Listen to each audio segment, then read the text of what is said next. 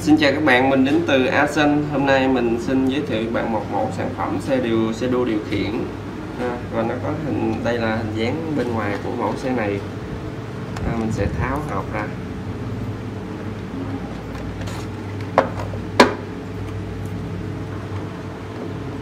Đây là thiết kế bên ngoài của mẫu xe khá là sang trọng và giống thật ha. Và tỷ lệ của nó là 1.64 ha đây là mẫu xe Porsche. Đây. À, mình sẽ à, giờ mình sẽ tháo nó ra. Đây.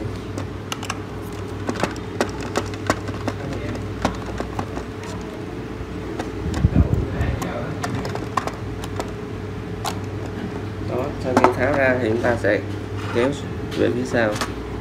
Đấy à, đây là mẫu xe của chúng ta được thiết kế ờ, rất là giống thật nha các bạn.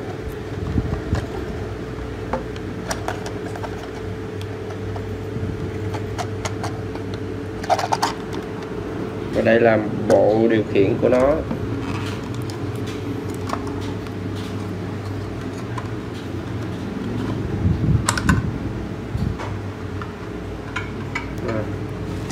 Thì bộ điều khiển này á thì chúng ta cũng có thể để xe lên đây và để chân trong tủ kiến cũng được ha. nó rất là đẹp đó. À, và bây giờ mình sẽ gắn pin vô và test thử cái mẫu xe này thì mẫu xe này nó không dùng pin sạc mà nó dùng pin 3A ha các bạn mình sẽ tháo và lắp pin vào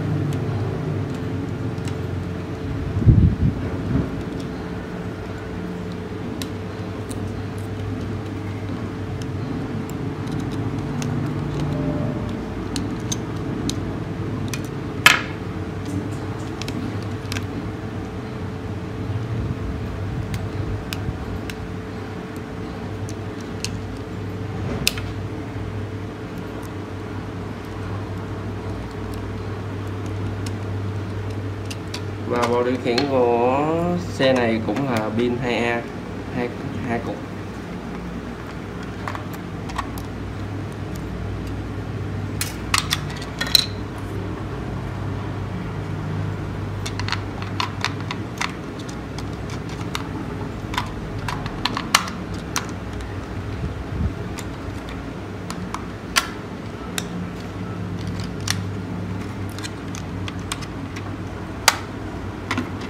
Đó thì sau khi lắp vào ta tiến hành lắp bộ anten vào.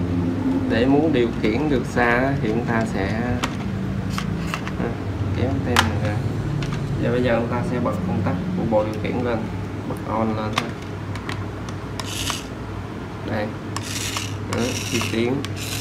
Khi tiến thì hai đèn trước sẽ sáng nha các bạn. Khi lùi. Trái phải một xíu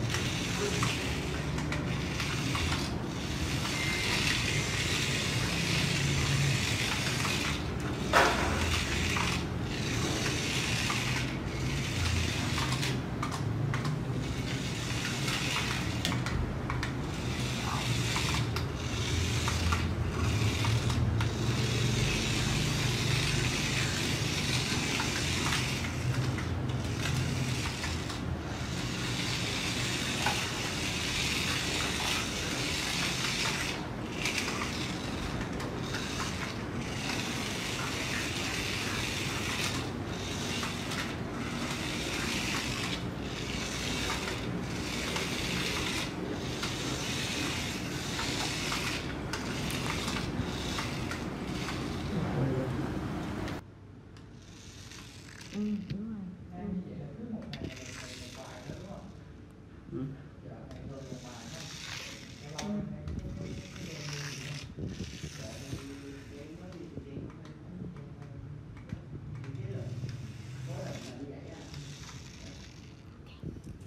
À, thì trọn bộ sản phẩm này nó gồm một cái xe điều khiển như thế này một remote điều khiển kèm theo 6 anten thì nếu các bạn quan tâm đến sản phẩm này các bạn có thể truy cập vào website trực tuyến asen.vn sau đó gọi với một từ khóa là 8008 à, thì nó sẽ ra được màn ảnh và sản phẩm của mẫu xe này kèm theo video hướng dẫn bên dưới.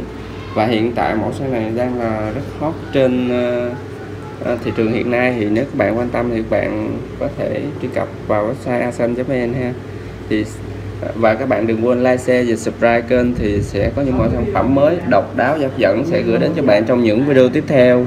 Asan xin cảm ơn các bạn đã chú ý theo dõi.